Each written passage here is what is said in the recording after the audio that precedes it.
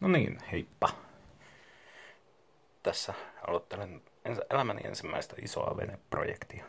Maksi 77. Ikinä ole tehnyt mitään puutöitä, mutta kato, kerta se on ensimmäinenkin. Tekemällä oppii. Maksoin tästä veneestä 750 euroa. Ja mukaan tuli kolmet purjeet ja mastot ja muut tilpehöverit ja ei ole neljään vuoteen.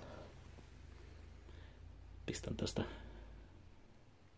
vähän videokuvaa, että kuin paskasta täällä on tällä hetkellä.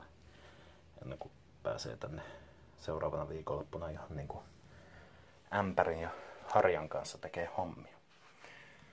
Niin. Ei mitään. Ajattelin nyt jakaa tästä vähän näkökulmia.